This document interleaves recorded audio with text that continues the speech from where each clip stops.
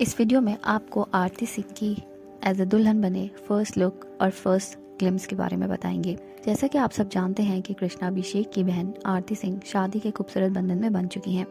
आरती सिंह ने एक बिजनेसमैन दीपक चौहान से शादी की है। आरती सिंह और दीपक चौहान की शादी की पहली पिक्चर्स सामने आ चुकी हैं और इन पिक्चर्स में देखा जा सकता है कि आरती और दीपक एक दूसरे के संग बहुत ही खूबसूरत दिखाई दे रहे हैं।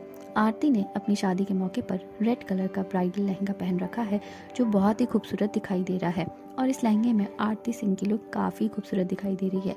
बात करें दूल्हे राजा की तो दूल्हे राजा भी ट्रेडिशनल शेरवानी में बहुत ही खूब लग रहे हैं और दोनों एक दूसरे को कॉम्प्लीमेंट करते हुए दिखाई दे रहे हैं। दोनों की फ़र्स्ट लुक सामने आई, दोनों मीडिया के सामने आए मीडिया के सामने दोनों ने अपनी पिक्चर्स दी और साथ में मीडिया में उन्होंने मिठाई भी बांटी। इस कपल को हमारी तरफ़ से ढेरों शुभकामनाएँ और हम आशा करेंगे कि ये कपल आगे अपनी लाइफ यूँ ही हँसते खेलते और हमेशा एक दूसरे के संग बिताए। आपको आरती सिंह की ये ब्राइडल लुक कैसी लगी और आरती सिंह और दीपक चौहान का कपल कैसा लगा, हमें कमेंट्स में बताना ना भूलिएगा।